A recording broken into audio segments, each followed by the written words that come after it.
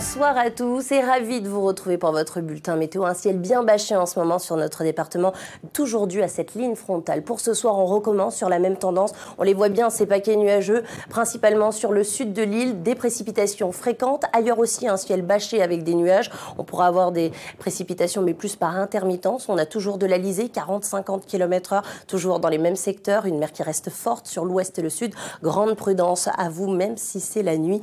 Et les températures vont être fraîches. 21 degrés sur l'ensemble du littoral, voire même 7 degrés vers le volcan.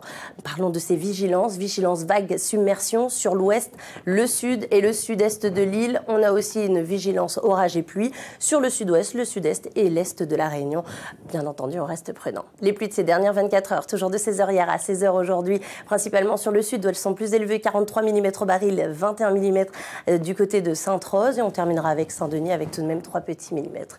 Demain matin, on retrouve ces précipitations plus abondantes euh, plus présente sur le sud de l'île, vers le volcan. Ailleurs, un ciel bâché entre nuages et éclaircies tout de même. Dans l'après-midi, les précipitations deviennent plus fréquentes, s'intensifient, le caractère orageux s'invite.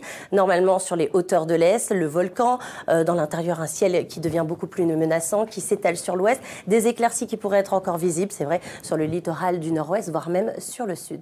Le vent reste modéré à fort, 50-60 km/h toujours dans les mêmes secteurs. Une mer qui reste toujours forte sur l'Ouest et le sud. On parle toujours euh, de cette houle, donc bien entendu, on reste prudent.